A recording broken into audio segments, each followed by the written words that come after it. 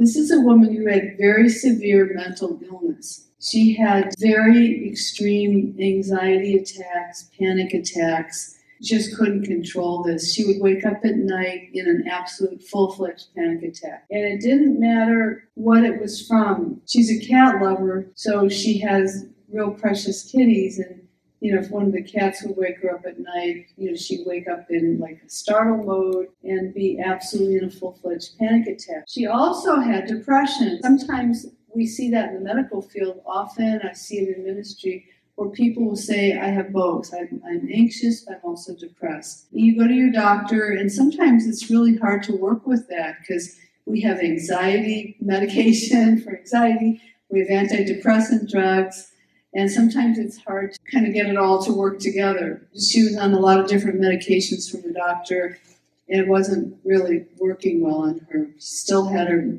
emotional issues that were very severe and she had also, over time, put on a lot of weight, which you can't tell in this picture because it's an upper body picture, but she had put on about 60 pounds. And she's not a big woman. It's not like she's, you know, six foot two or something.